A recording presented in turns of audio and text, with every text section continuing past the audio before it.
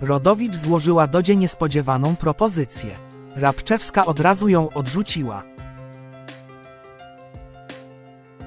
Nie milkną echa po premierze utworu Damą być w wykonaniu Roxany Węgiel i Maryli Rodowicz.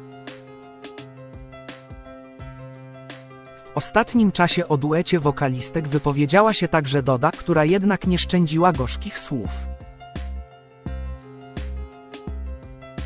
Celebrytka oceniła poczynania muzyczne pań i wyjawiła prawdę na temat potencjalnej współpracy z autorką hitu Niech żyje bal. Doda to jedna z najbardziej charyzmatycznych postaci polskiego show biznesu. Swoją karierę muzyczną rozpoczęła w zespole Virgin, gdzie szybko zdobyła popularność dzięki mocnemu głosowi i energetycznym występom. Jest artystką, która nie boi się wyzwań i stale eksperymentuje z różnymi stylami muzycznymi. Doda ocenia muzyczny duet Roxany Węgiel i Maryli Rodowicz. Padły mocne słowa. Wokalistka bacznie obserwuje polską scenę muzyczną i nie stroni od duetów z najlepszymi artystami.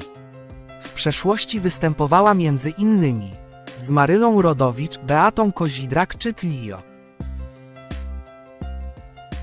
Podczas udziału w jednym z ostatnich branżowych eventów Rabczewska wypowiedziała się na temat duetu Damą być w wykonaniu Roxany Węgiel i Maryli Rodowicz. W rozmowie z Pomponikiem przyznała, że ma do przeróbki piosenki spore zastrzeżenia. Fajna, ale trochę przekombinowana. Straciła tę melodię, która i tak i tak jest trochę skomplikowana. Może chcieli ją uprościć, żeby była przystępna dla ludzi? Ale sam duet i teledysk, super. Ale jeżeli mam być szczera, bo bardzo lubię piosenki Maryli, nie zmieniałabym tej melodii, wyjawiła.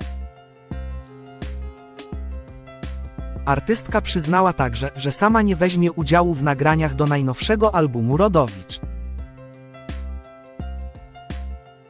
Przypomnijmy, że Maryla tworzy płytę ze swoimi starymi przebojami, które wykonuje na nowo z młodymi artystami. Do tej pory poznaliśmy jej duet z Mrozem i właśnie Roxy Węgiel. Takowego z Rabczewską jednak nie będzie. Nie, ja zakończyłam swoją muzyczną przygodę i wydawnictwa. Piosenka Nie żałuję była ostatnią na ten moment, więc nie, dodała. Doda odmówiła duetu Rodowicz, znamy odpowiedź wokalistki.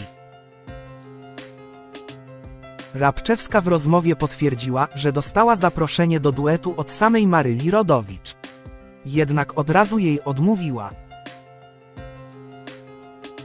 Tak, każdy ma pewne etapy w swoim życiu.